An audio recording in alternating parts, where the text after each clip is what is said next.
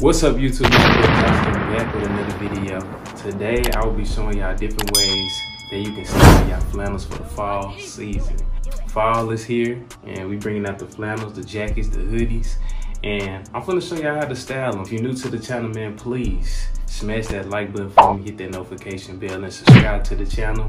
New videos dropping every week, fashion tip vlogs, everything. Want to tune in? Comment below what y'all think about the flannels, any recommendations, anything y'all want to see, man. Comment below. Thank you for viewing, and let's jump into the first flannel. All right, one way you can style your flannel is throwing on the jean jacket on top of it.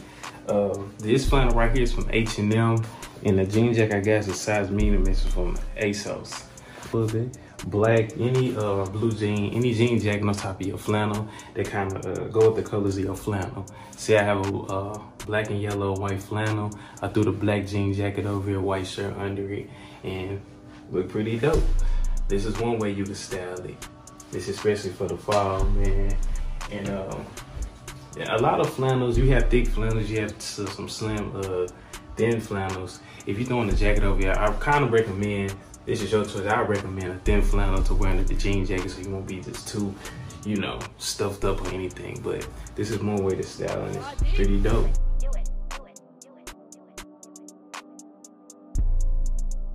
This is an, another way you can wear, uh, you can style your flannel, which is of course by itself.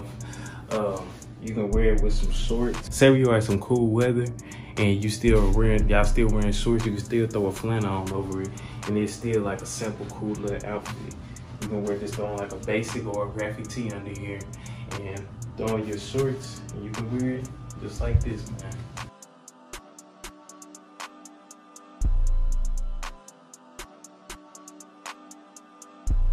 My last style I got for y'all is you can put the flannel over a hoodie. Any type of basic hoodie really, I wouldn't do this no graphic hoodie or no, you know, stripe hoodie and nothing, but I get like a good neutral hoodie or hoodie that matches your flannel, color your flannels and throw it over, throw your flannel over the hoodie. And this would be a great style, y'all can see. It's very comfortable. This I'd probably go with a, uh, a oversized like flannel or, or go up a size on your flannel. It's better with the hoodie. But if you don't, like either way it would be good.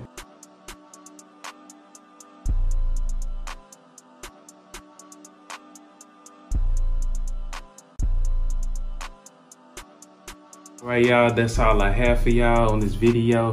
Thank y'all for tuning in. If you're new to the channel, man, please hit the subscribe button and smash that like button for me. Comment below, man, which style y'all be rocking this fall.